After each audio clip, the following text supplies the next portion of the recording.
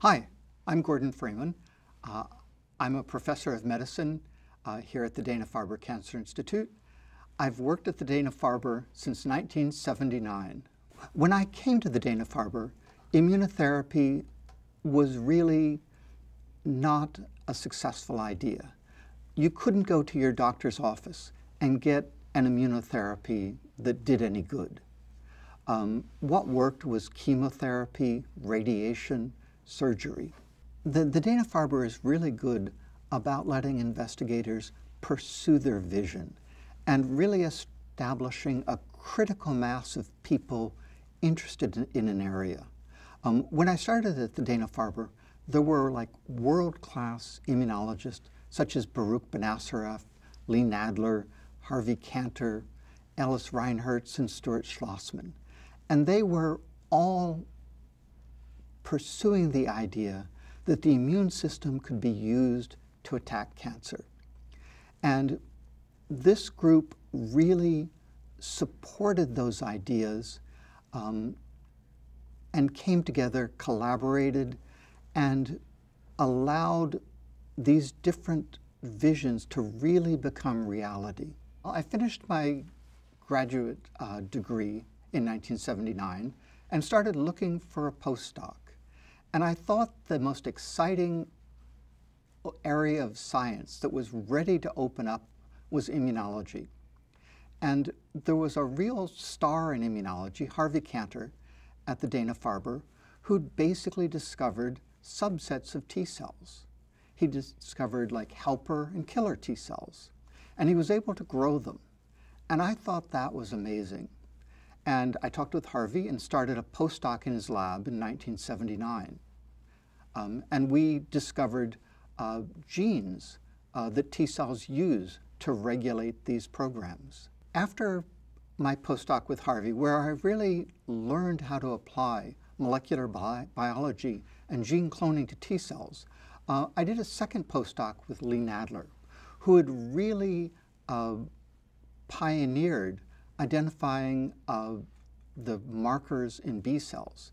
And he had markers that he called B1, B2, B3, and they were now working on one called B7. And I was the molecular biologist, and I cloned the B7 molecule. And we discovered that it was the major signal um, for co-stimulating T cells, that it was really necessary for T cells to grow and expand. And you know that's really important in immune response. Every time you get a sore throat, your lymph node goes from nothing to a golf ball. And that's the work of the T cell receptor and the B7 molecule. It basically takes a few T cells, which aren't enough to fight a disease, and it expands them up to millions and millions of T cells, which can really then be an effective uh, disease fighting force. I continued uh, climbing the pyramid and became an assistant professor at the Dana-Farber and started my own lab. And that was the, those were the days when the human genome was being sequenced and 20,000 new genes became available. And we looked for what were cousins to the B7 molecule because we thought these, these would be really important in regulating how many T cells there were.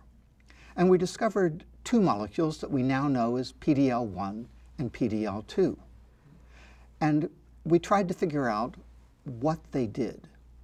And the surprising thing was that we were immunologists, but where this PDL1 molecule came from was an ovarian tumor. So we didn't know what, what it was doing. And we tested its function and we found, to our surprise, that it turned off T cells. Um, we then worked with Clive Wood and Tasuku Honjo and showed it was a ligand for the PD-1 molecule. And this PD-L1, PD-1 pathway turned off the immune response. But the surprising thing was we discovered it in, in cancer cells.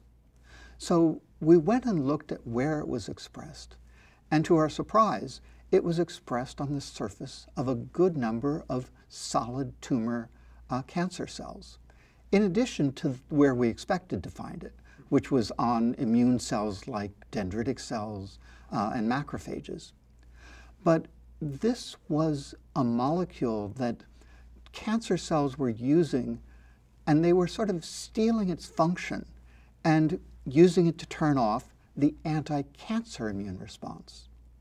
Now, I came to the Dana-Farber because I thought it was a world leader in immunology.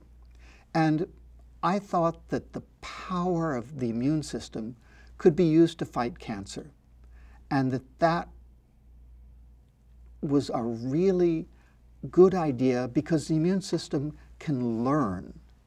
Um, a single molecule drug can't change or learn, but your immune system can learn and change and adapt.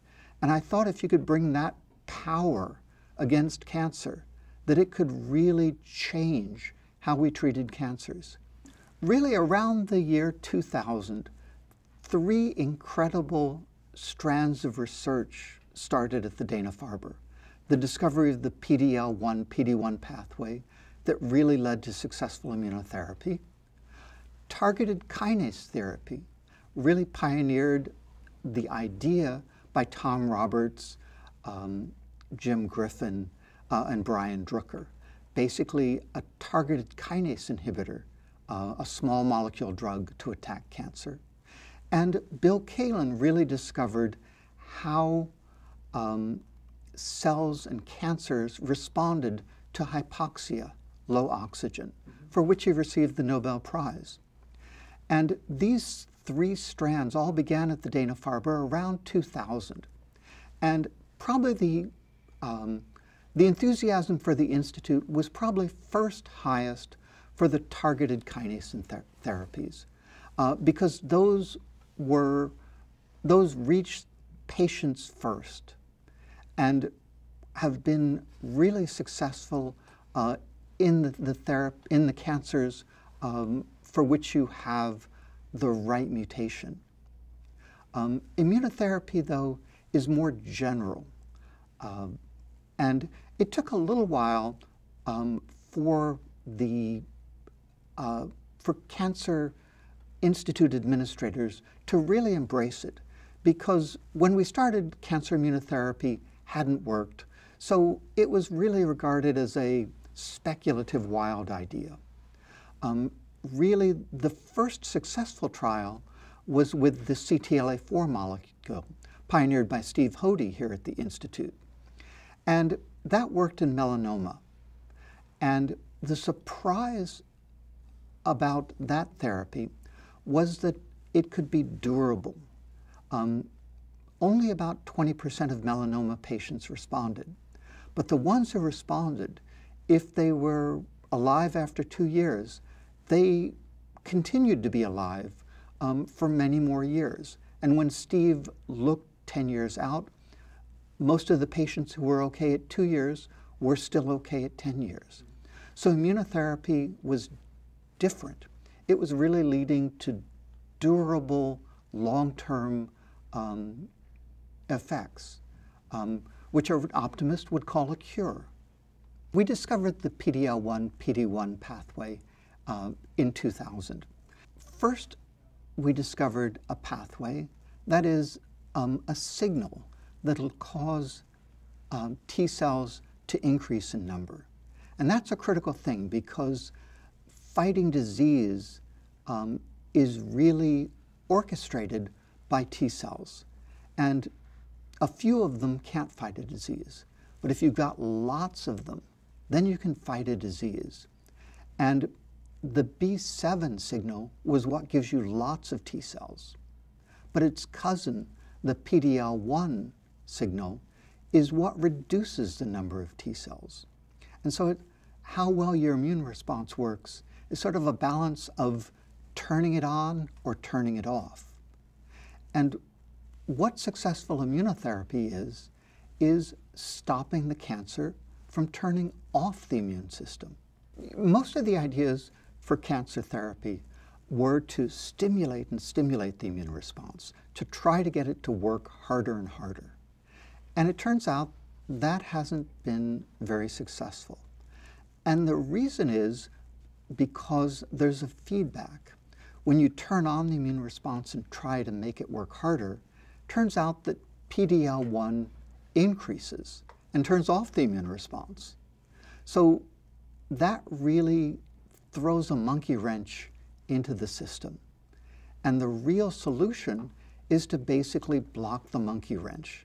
So to block PD-L1 so that your positive signal works and isn't blocked by the PD-L1 signal. And Alan Korman at a little biotech called Medarex um, saw our paper and started um, a drug development program. And Medarex was able uh, to make fully human antibodies, which are the right uh, drug for this pathway. And they licensed uh, our patents and also the patents of others in the field and developed um, an antibody drug that we now know as nivolumab.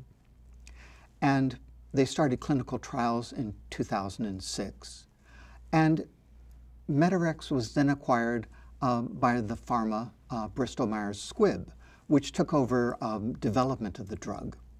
And it was approved uh, by the FDA in 2014 um, for melanoma, and since then for uh, 21 other uh, types of cancer.